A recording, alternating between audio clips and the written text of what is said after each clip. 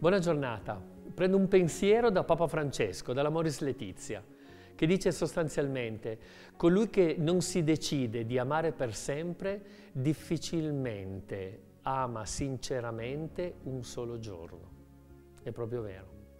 È proprio vero questa dedizione di questo dare, amare per sempre, che alla fine lo si traduce nei singoli giorni non sono i singoli giorni sostanzialmente che costruiscono. Certo, lo sono anche, però è la modalità con cui hai questa dedizione, hai questo stile, hai questa intenzione, hai questo senso della vita che ti fa gustare i singoli giorni.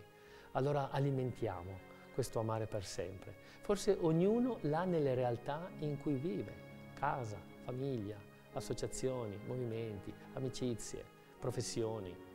Ecco questa dedizione totale che alla fine si tradurrà in sorprese, ma anche in novità, ma anche nello stesso tempo in quel senso che forse tutti oggi noi cerchiamo.